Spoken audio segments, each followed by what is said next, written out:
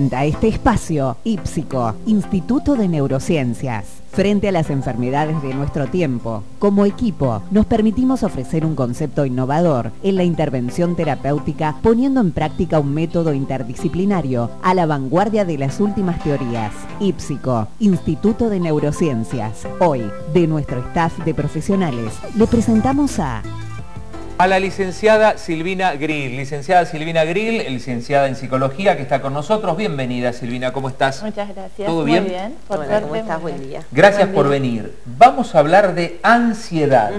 ¿Ansiedad? Ansiedad, sí. y trastornos de ansiedad. Y trastornos de ansiedad. ¿Hay diferencia, doctora, entre la ansiedad y los trastornos de ansiedad? La ansiedad es una emoción en sí misma. El trastorno de ansiedad se le llama cuando esto se vuelve algo disfuncional para la persona para quien lo padece. Hablamos de trastorno o de una enfermedad cuando la intensidad y la frecuencia con la que la persona vive un estado de ansiedad eh, aumenta, ¿no? Porque en realidad ansiedad tenemos todos. Ajá. ¿sí? ¿Y, ¿Y cómo uno lo evalúa desde su personalidad? Porque supongo que habrá personas más ansiosas pero digamos dentro de los parámetros de la normalidad y personas que no. ¿Cómo evalúa uno en su personalidad si es ansioso? ¿Cómo se convierte si tiene el trastorno o no, o es un ansioso, digamos, normal. dentro de los parámetros normales. Eh, vuelvo a insistir, la ansiedad la tenemos todos hasta cierto umbral, ¿no? Todos tenemos un umbral de tolerancia para la ansiedad, algunos lo tenemos más elevado, otros menos elevado.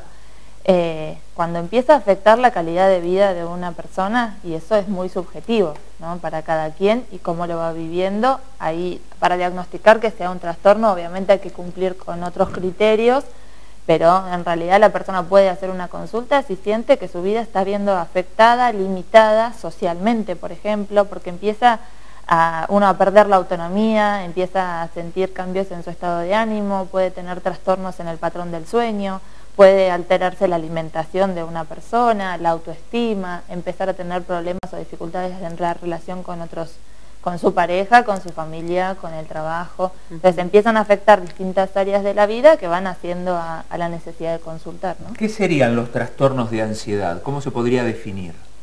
Los trastornos de ansiedad se caracterizan por una enfermedad mental en la cual la persona lo que vive es una sensación de miedo intenso ante, por ejemplo, en las fobias, ante algún objeto específico, animal específico o algún acontecimiento.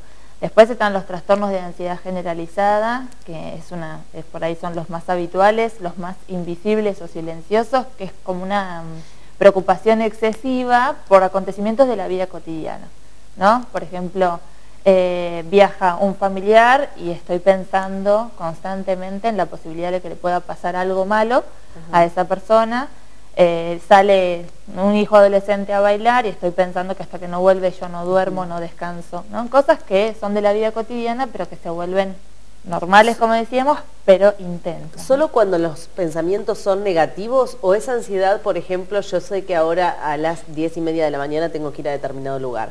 Entonces yo ya estoy pensando en eso, pero no negativamente, estoy pensando que tengo que hacer eso y no paro de pensar y, estoy como ansioso porque llegue el momento. ¿Eso también implica o es solo cuando es negativo el pensamiento?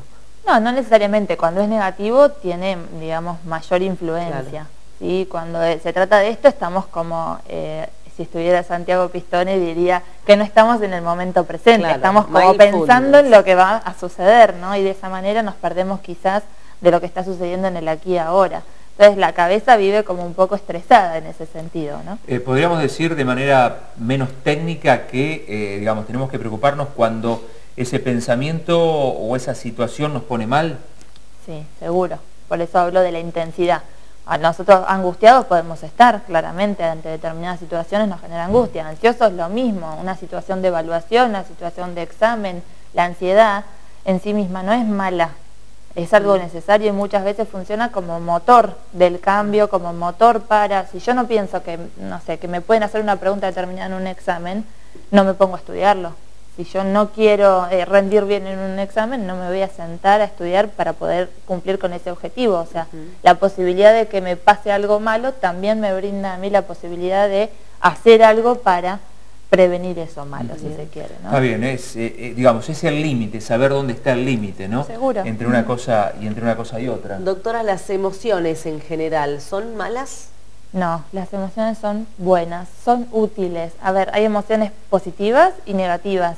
Positivas hablamos de felicidad, hablamos de placer, negativas hablamos de angustia, de tristeza, de enojo, de bronca, pero siempre en su justa medida, ¿no? Cuando se convierten en malas, cuando me limitan, cuando me impiden seguir con mi vida cotidiana de alguna manera, pero son útiles porque nos informan, a todos cuando una persona... está pasando. Claro, exactamente. Es como un sistema de alarma ante el cual uno dice, bueno, acá algo mal está y tengo que hacer algo con eso. ¿Y qué pasa cuando no le podemos poner nombre a las emociones? Una persona está mal pero no sabe por qué. ¿Se entiende? Viste, a, veces vos la ves y por ahí es una persona deprimida, estoy mal, pero ¿qué te pasa? Pero no, no sé por qué estoy mal. Cuando eh, por ahí no se le puede poner el nombre, decir, mira, estoy triste. Te dice, no sé qué me pasa y quizás sabe la sensación o la emoción, pero no sabe el, motivo, ¿no? O a veces en el cuerpo. La ansiedad lo que tiene es que su correlato físico es muy alto. ¿A qué me refiero con esto? Todos cuando sentimos miedo es porque hay una amenaza real de algo que nos puede pasar, un peligro inminente.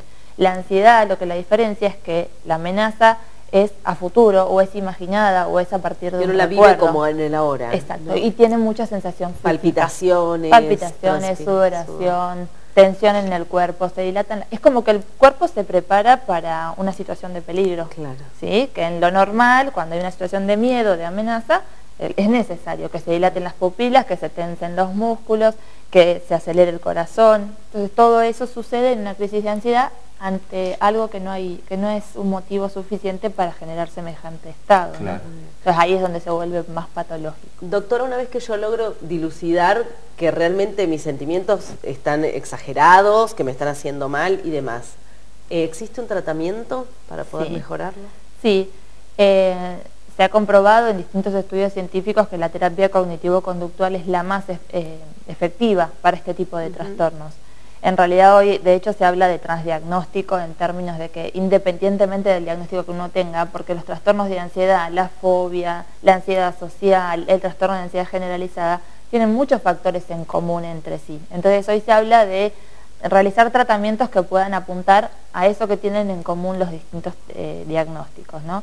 Entonces el tratamiento cognitivo-conductual ha mostrado mayor efectividad. También existe la terapia, digamos, grupal e individual, cognitivo-conductual, y también el tratamiento farmacológico en caso de que la vida de la persona o la calidad de vida de la persona se vea muy afectada. Una persona que no duerme bien, que no descansa bien o que se ve afectado su, su apetito o que su estado de ansiedad o de angustia es muy elevado y constante, es necesario quizás recurrir a una medicación y el trabajo que hacen en conjunto ahí en IPSICO como para que la, bueno, el problema sea abordado por una serie de profesionales, ¿no? Exacto, sí, estamos todos preparados para poder abordar esto, contamos obvio con un staff de profesionales que pueden digamos, dar intervención en función de la necesidad de cada caso. Eh, esta pregunta por ahí es medio complicada, pero eh, y dependerá de la persona, dependerá de la patología, de la intensidad, pero eh, ¿Tienen buen pronóstico estas patologías? ¿En cuánto tiempo se puede volver a una vida normal? Depende de cuán alterada llegue la persona y depende de cuánto hace que inició con este problema. Por lo general una persona ansiosa, como decíamos hoy, la ansiedad, quien es ansioso tiene la ansiedad quizás que la acompaña siempre y a veces se desregula un poco más o un poco menos. Cuanto más crónico es, más difícil quizás de revertir es el cuadro. Pero sí, puede mejorar claramente la calidad de vida de una persona ansiosa, aprendiendo a regular sus emociones, aprendiendo a manejarlas de otra manera, seguro. Y, perdón, ¿vos tenés una pregunta? No, no, no, no yo quería preguntar, porque hay mucha gente que por ahí uno de afuera ve que tiene cierto tipo de problema con la ansiedad, pero esa persona no lo reconoce. ¿Cómo se la puede ayudar precisamente en función de, como decíamos hoy, ¿no? de ponerle nombre? Mirá, vos te puede estar pasando esto, ¿por qué no pedís ayuda? Porque hay mucha gente que no, primero que no lo reconoce o no se reconoce con una dificultad, con, con un problema. ¿Cómo podemos ayudar? Bueno, nosotros de hecho el 3 de julio a las 20.15 estamos realizando un taller de ansiedad y estrés, que es un, poco una charla informativa para aquella persona que quiera acceder a realizarla, obviamente que está abierta en la inscripción, un poco para informar de qué se trata esto y que cada uno pueda evaluar a ver si requiere o no algún tratamiento específico. Interesante, así que 3 de julio... 3 de julio a las 20.15 en Ípsico, en la sede de Rodríguez, con el licenciado Pistone vamos a estar conjuntamente realizando este taller de ansiedad y estrés, aprendiendo a controlar las emociones, se llama. Qué bueno. ¿Hay que anotarse antes, doctora? En la medida de lo posible sí, hay cupos limitados, eh, así que hay que anotarse previamente. Ya tenemos algunos inscriptos, así que el que quiera acceder está abierta todavía la inscripción. Interesante. El 3 de julio, allí en la sede de Rodríguez, esto es Rodríguez pasando Mitre, ahí más o menos eh, mano izquierda. Si la ansiedad nos lo permite, vamos a estar. que llegue, que llegue, que llegue. que llegue pronto.